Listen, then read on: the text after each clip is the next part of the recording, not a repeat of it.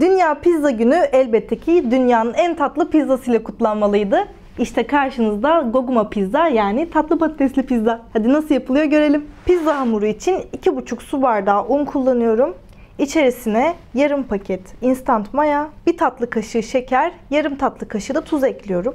Kuru karışımı karıştırıyorum. Bir su bardağından bir parmak az miktarda ılık suyu karışıma ekliyorum ve stand mikseri yardımıyla yoğuruyorum.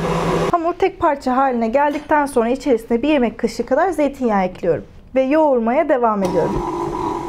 Karıştırma kabının üzerini streç filmle kapatıyorum ve oda sıcaklığında 1 saat mayalanmaya bırakıyorum. Bir adet haşlanmış tatlı patatesle kenar dolgusunu hazırlayacağım. Küçük parçalara ayırdığım tatlı patatesi el blenderından geçirip püre haline getiriyorum. Pürenin içerisine 2 yemek kaşığı mayonez ekliyorum ve 1 çay kaşığı kadar da şeker ekliyorum. Güzelce karıştırıyorum. Hazırladığım karışımı bir sıkma torbasına koyuyorum. Diğer hazırlıkları tamamlayana kadar buzdolabında beklemeye gönderiyorum. Goguma pizzanın üzeri için kullanacağım yarım tatlı patatesi, çeyrek kuru soğanı ve çeyrek sarı Kaliforniya biberini doğruyorum. Hadi pizzanın sosunu hazırlayalım. Bunun için kaseye bir yemek kaşığı salça koydum. İçerisine bir çimdik kek katıyorum. Bir diş dövülmüş sarımsak atıyorum. Biraz tuz ekliyorum. Yarım yemek kaşığı kadar zeytinyağı ekliyorum. Ve 3 yemek kaşığı su ekliyorum. Karıştırıyorum ve pizza sosumuz hazır. 1 saat bekleme süresinden sonra hamurun havasını alıp tekrar yoğuruyorum. Üzerini tekrar kapatıyorum ve bu sefer sadece 15 dakika bekleteceğim. Mayalanması tamamlanmış olan hamuru mısır unu yardımıyla açıyorum.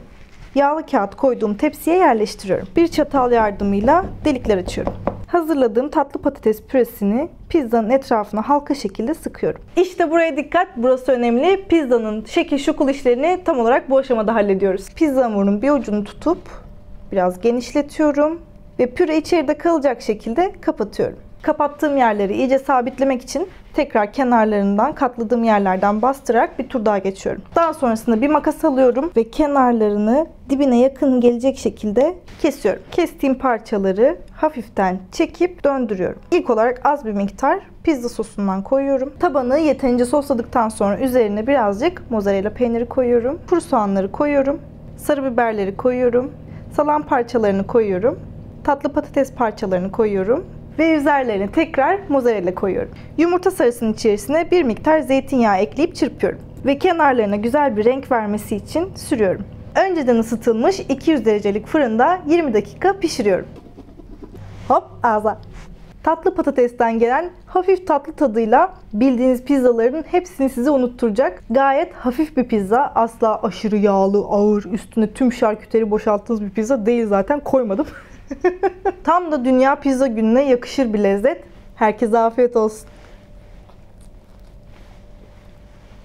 İsterseniz buraları böyle koparıp lokmalık lokmalık yersiniz.